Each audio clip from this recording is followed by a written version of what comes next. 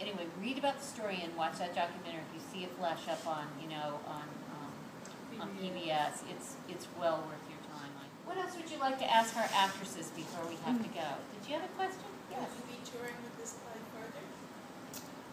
We're gonna do it again in uh, Santa Santa Barbara, California in um, June, yeah, June. June, yeah, June June, to- June to July. Now, I have to talk about Uh, that. We're in Santa Barbara. I, I know Santa Oh, Barbara. Ensemble Ensemble Theater. Theater Company?